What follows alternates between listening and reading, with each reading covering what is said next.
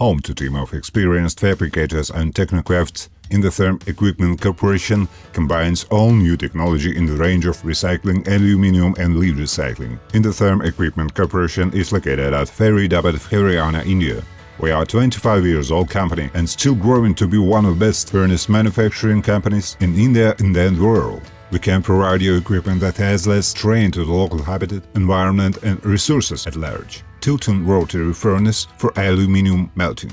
Indotherm Equipment Corporation is one of the new manufacturer and exporter of Tilting rotary furnace. We manufacture capacities from 2-25 tons per branch.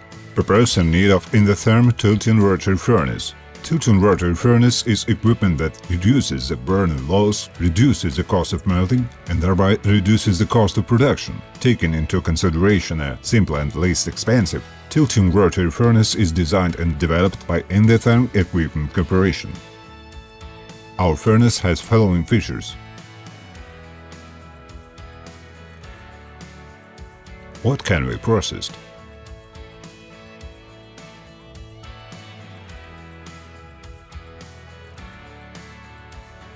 Our reputed clients